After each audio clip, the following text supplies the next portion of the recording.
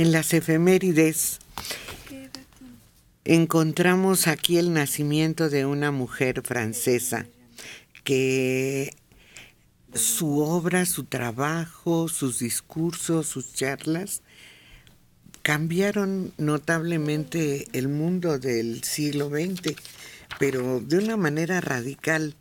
Es el nacimiento en 1908 de la escritora y feminista francesa Simone de Beauvoir, miembro de la comunidad intelectual de los escritores filósofos que han dado la transcripción literaria a temas relacionados con el existencialismo. Entre sus obras destacan El segundo sexo y Los mandarines. Originaria de una familia burguesa, destacó desde temprana edad como una alumna brillante. Estudió en la Sorbona y en 1929 conoció a Jean-Paul Sartre, que se convirtió en su compañero durante el resto de su vida junto con Sartre, Albert Camus y Maurice Merleau, entre otros, fundaron la revista Tiempos Modernos, cuyo primer número salió a la calle el 15 de octubre de 1945 y se transformó en un referente político y cultural del pensamiento francés de mitad del siglo XX. Posteriormente publicó la novela todos los hombres son mortales y los ensayos para una moral de la ambigüedad.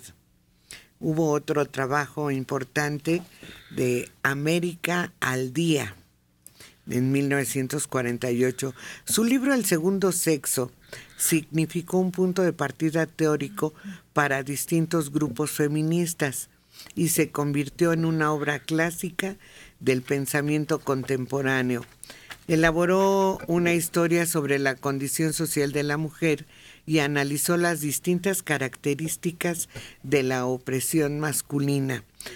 Afirmó que al ser excluida de los procesos de producción y confinada al hogar y las funciones reproductivas, la mujer perdía todos los vínculos sociales y con ellos la posibilidad de ser libre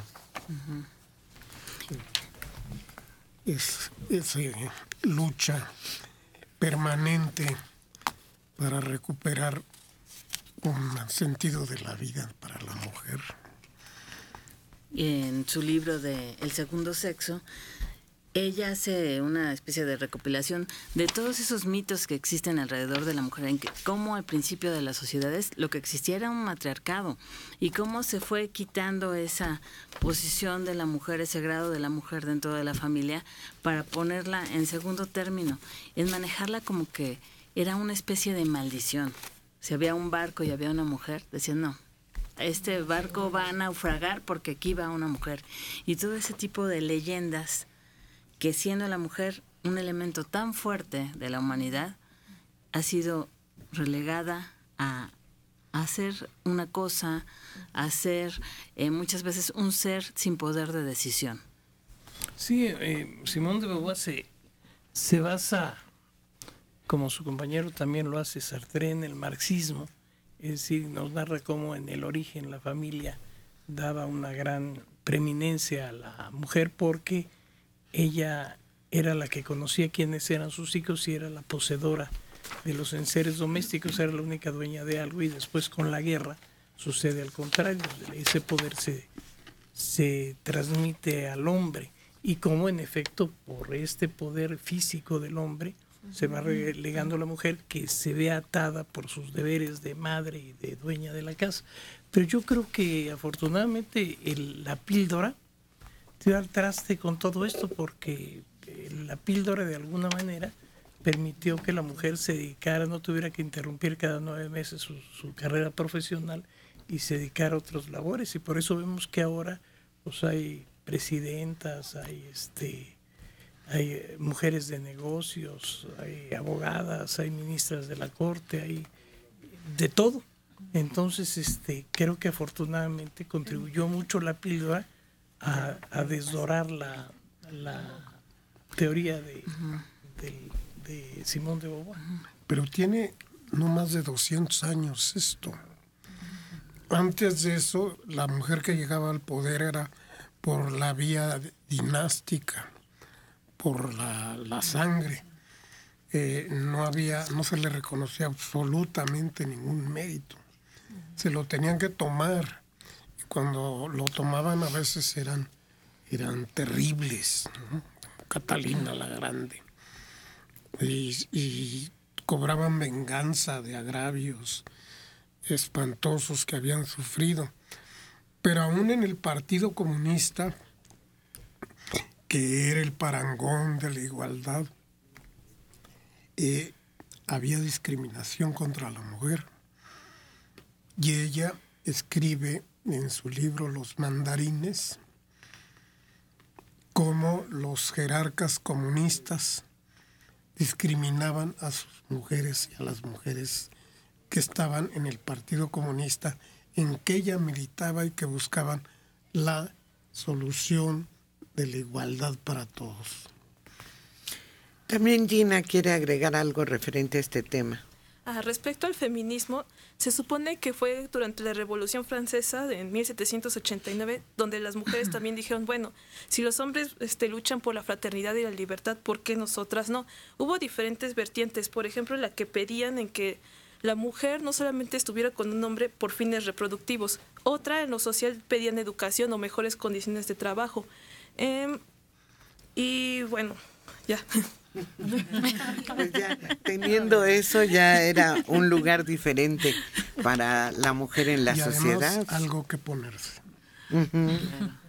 Sí, pero dices que las mujeres podían ser crueles. Isabel la Católica crea la Inquisición con torturas y con con castigos verdaderamente terribles.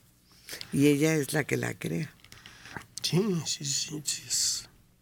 Y no se diferenciaban de nada, en nada de sus contrapartes masculinas. No, la verdad es que cuando se lee la historia de las la historia de algunas mujeres en, a lo largo de muchos siglos, se encuentra uno con que así como todas unas ternuritas, no. Sí, Por ejemplo, las que fueron faraonas se tuvieron que disfrazar de hombres para funcionar y para tomar el poder. Hatshepsut fue muy célebre por eso. Ella, ella aparecía con su barba. Pero en Europa las que llegaron a ser reinas no tenían ninguna diferencia en crueldad o en mando como los hombres. No, no, no. Eran. Aún, aún las consortes eran terribles. Terribles. la de. La madre de seis reyes o tres reyes, Leonor de Aquitania, mm. era tremenda, tremenda en su poder y en su crueldad.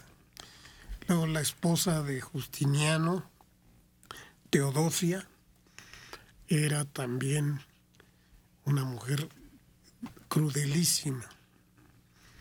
Sí, sí, no todas estaban así aisladas y destinadas solo a tener hijos. No, no, no.